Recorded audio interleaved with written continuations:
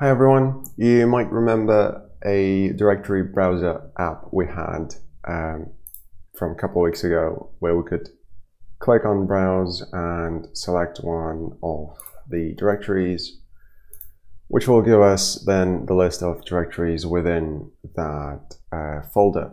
So this is one way to do it and let's add a graphical user interface um, or build an application that will use something similar but in a slightly different way. Get rid of that, we don't need this. New class, graphical directory browser app. Let's go with that.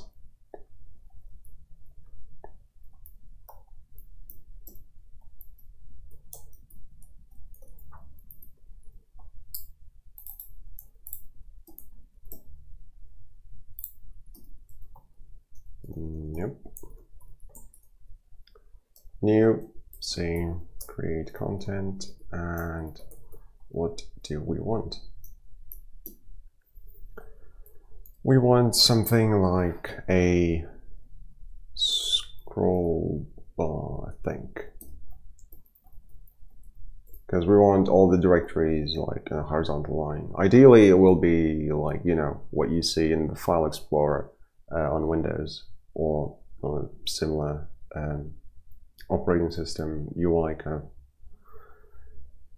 That will go simple. So hbox is going to contain all of uh, the directories. Going to put it through the scroll bar, which is going to, no, why can't I do this? Set content.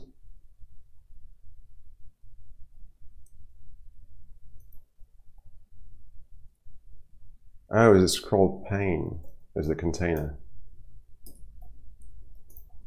Yeah, that might be it. And then I don't actually know what to put here. Maybe a stack pane, something like this will do. I don't particularly care about the overall root layout, but we'll see. Preferred size, something like that. Right, done. So I need to populate this thing now somehow. Um, hbox, get children, and new, let's go for rectangle 1440 and another rectangle. I just want to see what this looks like. Um, in fact, we can just repeat this thing a couple of times. That should do it. And spacing, something like 15. And let's give this a go. What do we get? That is fine. Yeah, that'll do. So what we want, two things. One is a graphical representation of a folder directory. Two is to actually do the logic, read from the file system, populate the thing. Um, directory view, there we go. That's going to be um, vertical blocks maybe.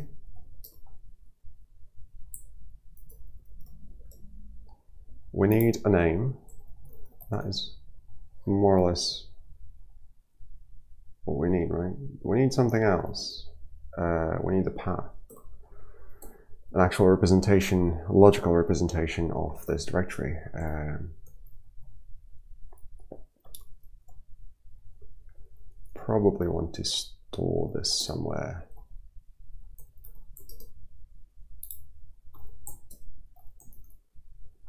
I'm going to render the name into some kind of a text object, I think.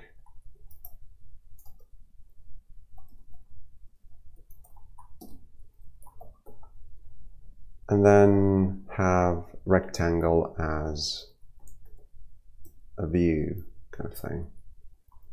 Um,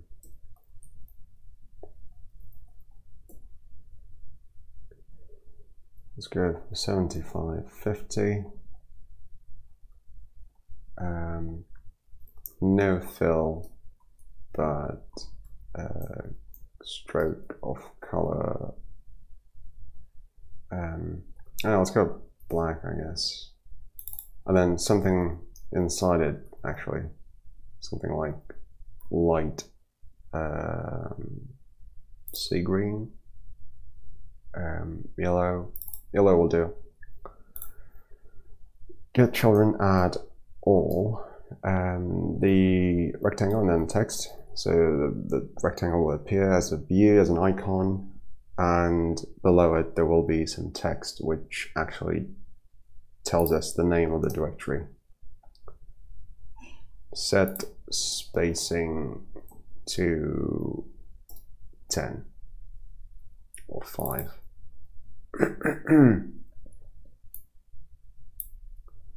can now populate with dummy data. Uh, directory view name could be source and paths get uh, something like this.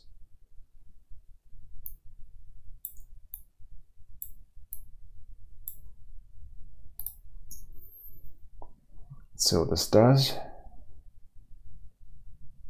Um, it's kind of you know 90s ish look, I guess. I'm not going to do anything about it, um, but you'll have an idea of what to change over here.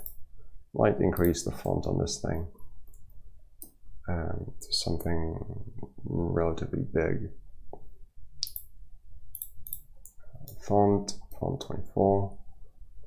Uh, maybe center it as well set alignment position. Top center.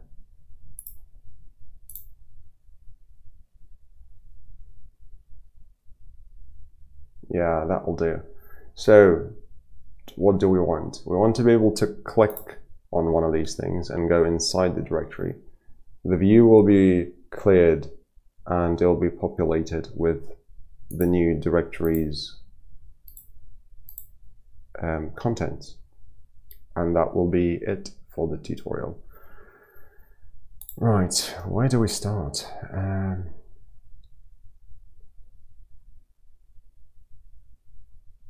I suppose we want to first populate um, via a function. Private void um, set contents of a directory.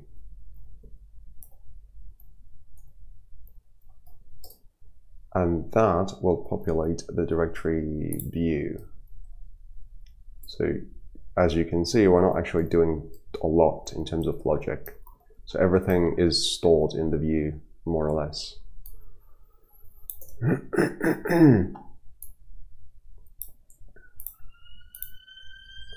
Create content, uh, do all of this stuff and then finally set contents to paths get the current directory. I think this gives us the current directory, yeah? In which the user has started the application. And then using this, we should be able to read just one level below into the directory, populate children of hbox, and we're good.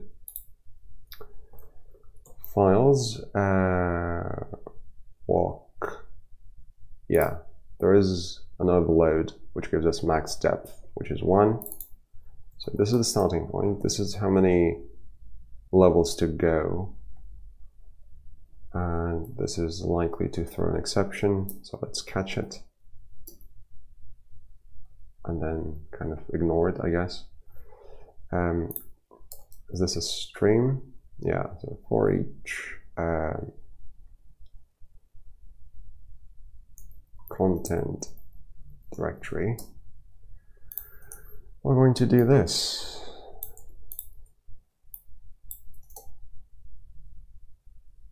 I suppose you could say something uh, cannot walk directory.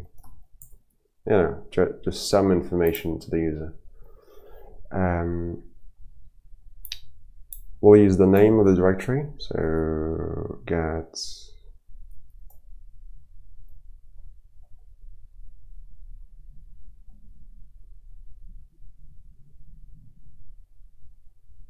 get what do we want to get? Get file name is probably what we need. Returns a path, uh, which we can say to string, hopefully.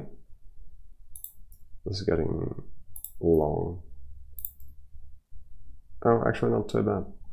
So get file name. This is the file name of the directory, as far as I can understand. We'll see. And this needs to be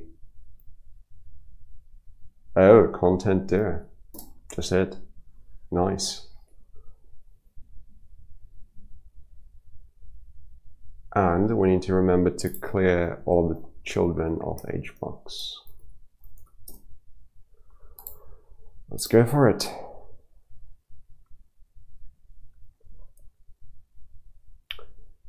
Looks okay.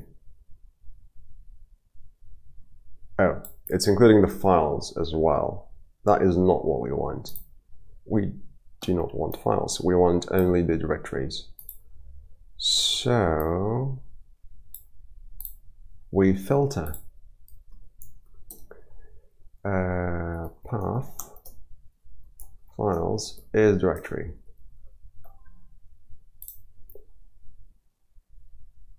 Which means it will only go into the for each loop if it's a directory. And it looks like these are all the directories, which is correct. Let's go into source.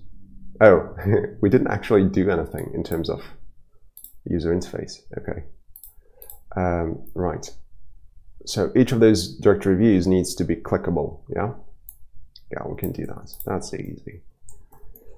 View, view, we can simplify it very nicely to this, which means we only need to add something like on mouse clicked. Mouse clicked, we recurse into this thing by using the views directory. That's perfect.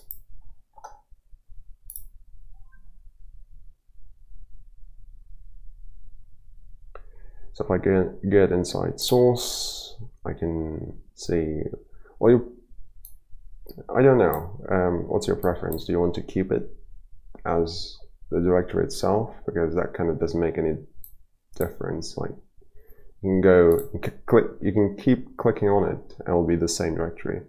We should be able to go into main, uh,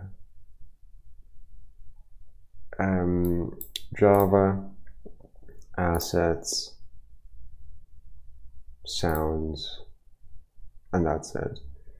Okay, I think that is it for today. Um, there is an obvious extension to this, which is to add the three dots symbol, which is going to give you um, a way to navigate back. Otherwise, you can just only go one way. It's not much of a feature in which case, because you'll have to restart the entire application to be able to navigate anywhere else. So your very first thing should be here, not the name of the folder itself, but um, an ellipsis symbol, uh, the three dots, and that should probably be added first. So somewhere here. And because the constructor is already there for directory view, all you need to figure out is which directory uh, to use. For the file name, you simply do dot dot dot, okay? Uh, there are various extensions to this. I mean, you can turn this into a full-blown thing, like, uh, and actually use it for something.